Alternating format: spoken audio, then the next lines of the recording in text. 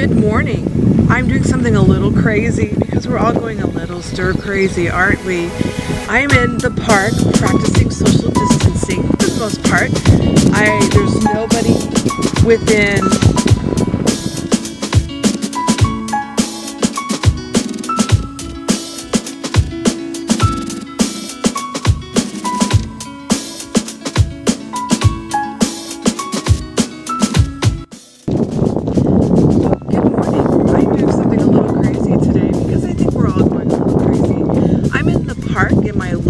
community practicing very safe distancing, following all local rules. But I'm going to do something that I've been dreaming about ever since I first had it in Las Vegas at Morimoto's restaurant. I'll be right back to show you what I'm going to do. Morimoto, eh, I've been watching him on Japanese Iron Chef since like 1999 or something like that. He was one of the first Iron Chefs before Iron Chef came to America. And I always adored his cooking. He has restaurants around the world, but one in particular, and unfortunately the only one I've been able to go to is in Las Vegas. And we had this tuna tartare extravaganza dish. It's absolutely delicious. I'm going to attempt to recreate something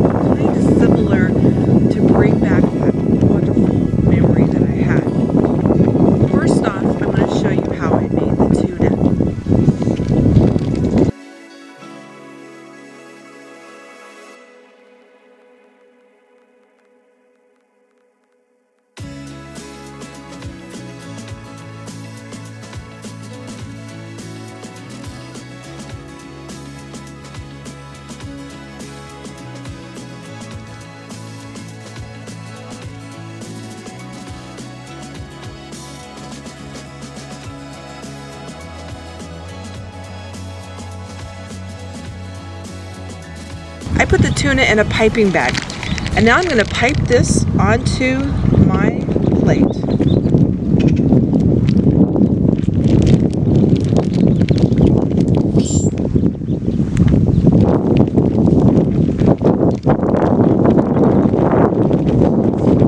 I'm going to spread it.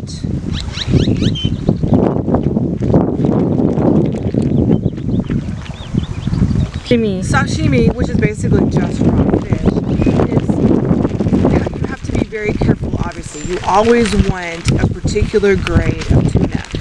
If you just cannot find a, that sashimi grade of tuna, you can freeze your tuna because that will kill all the worms and microbes and all that.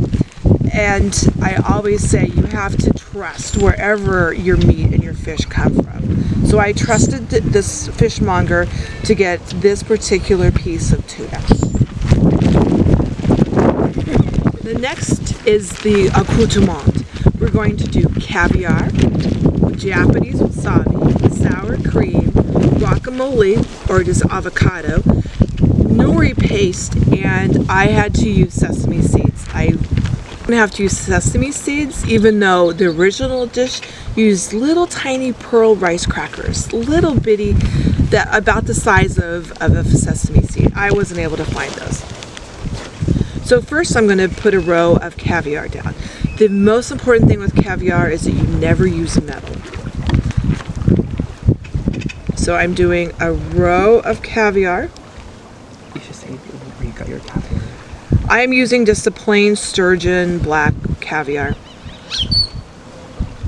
Then I'm going to do a row of wasabi. Yes, wasabi. It's not a huge roll, but it is a row.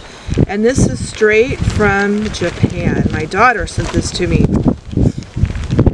And then I'm going to do a row of avocado that I smashed up, add a little bit of garlic and a little bit of salt and pepper, which is basically guacamole.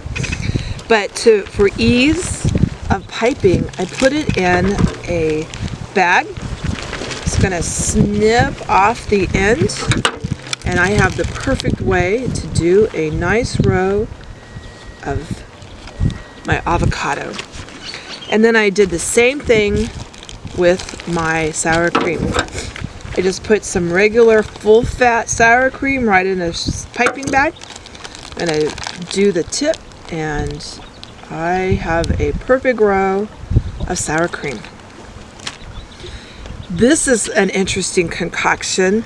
I needed to find nori paste, and nori is seaweed. But I was unable to find nori paste locally in the my one Asian market that I have. So I looked up online, and there is a way to take nori paste, and I experimented. The nori, which is the sheets of seaweed, I added soy sauce, mirin, coconut sugar, and so soy sauce. Soy sauce? And water.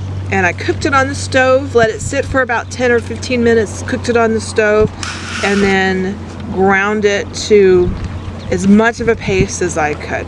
I wasn't able to get this nearly as wonderfully pasty as I wanted to. So it was an interesting experiment. And now I'm going to do a row of sesame seeds right on the end.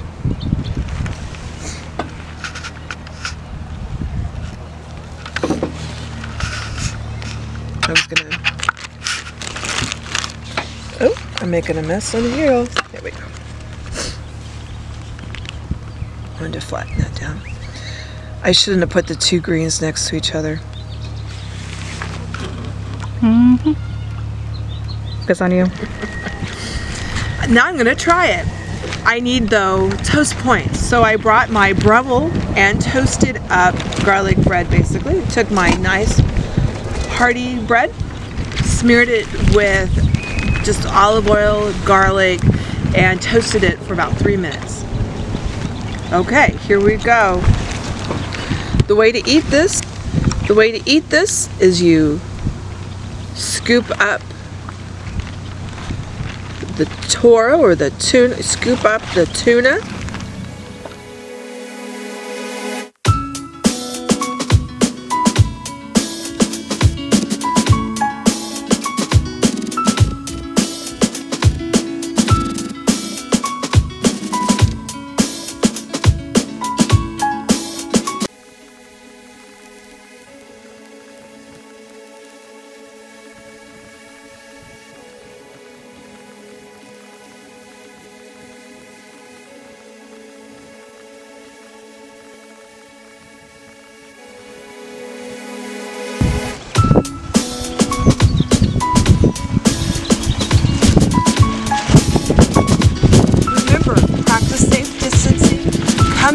Check out, my channel again and live a little bit even in this time of self quarantine. Be good to yourself.